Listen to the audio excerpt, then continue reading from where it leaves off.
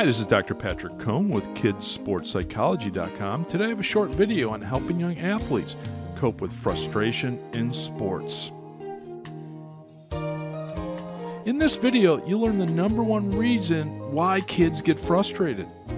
You'll discover why kids shut down after mistakes, the fastest way to help kids cope with mistakes, and why one simple strategy can help your kids have more fun and deal with some of their emotional uproars or tantrums. We've surveyed thousands of sports parents, and 40% or more of the sports parents say that their kids struggle with this issue.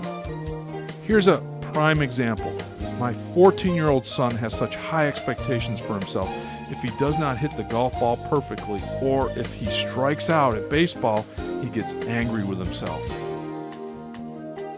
Here's another example. My 11 year old son loves football, baseball, and basketball. However, when he plays baseball, he gets emotional whenever something negative happens. When he has an, an out at bat, he breaks down crying. He even gets upset after a strike is called on him. These are very typical scenarios of what we're hearing from sports parents and coaches alike. What predisposes kids to have challenges with emotional control and dealing with frustration? Well, number one is high expectations, and that's going to be the focus of this particular video.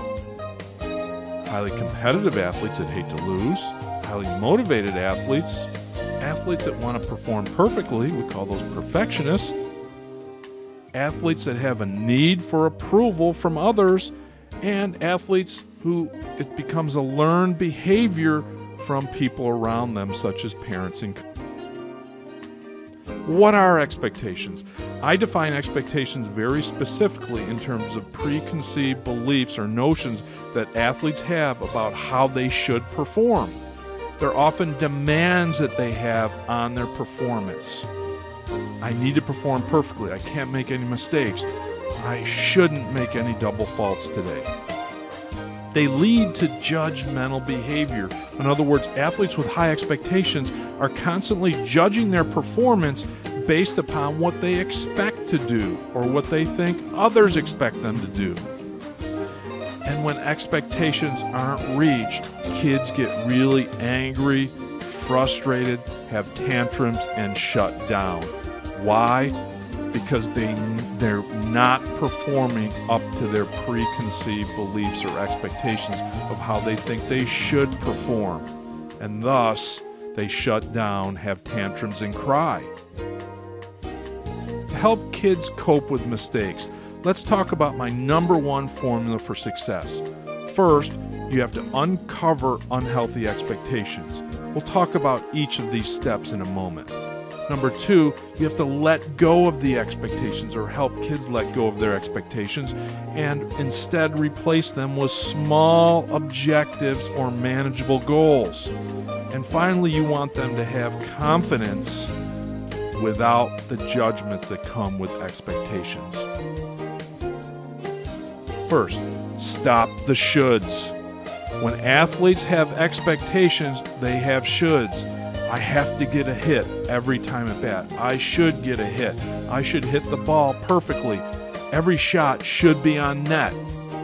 Those are the I have to, I need to, I must, I should. That's what's called absolute thinking in our work. And when they have absolute thinking, they often price in perfection. In step two, you want to help them rid themselves of the expectations by helping them uncover what they are. What demands do your kids have about the quality of their performance? In other words, how well they hit the ball, how well they pass the ball, how well they shoot the ball. The outcome, not only the win loss, but also a smaller outcome for a baseball player could be getting a hit. How other people should behave and finally, they have expectations they feel from people around them. Step three is to set smaller, more manageable goals. I call these manageable goals or mini goals, or we can use the term objectives. So instead of I have to get a hit every time at bat, which we know is not a good goal and not a good focus for athletes, instead we talk about easily obtained objectives or mini goals for them to focus on one pitch at a time, something they can do in the process. To throw quality pitches, and you can define what quality pitches are, or just to focus on the target.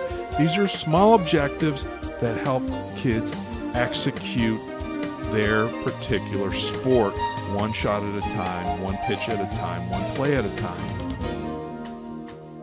This particular video is previewing a new program that we have coming out very shortly called the Compose Sports Kit, a seven day plan for helping young athletes cope with frustration.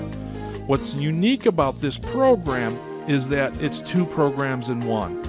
There's a workbook for kids and an athlete's training CD. In addition, there's a training manual for parents and coaches along with their own CD program. So I train you as the parent or coach how to help kids with this. However, some kids like to work at their own pace, and therefore you can give them the program to do on their own as well. This program will be available March 5th. It's a two CD program with two workbooks one for the parent and one for the athlete.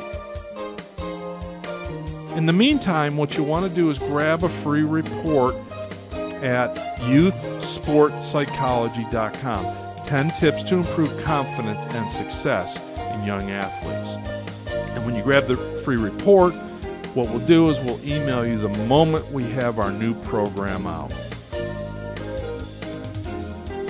Okay, thanks for joining me. I'll talk to you soon.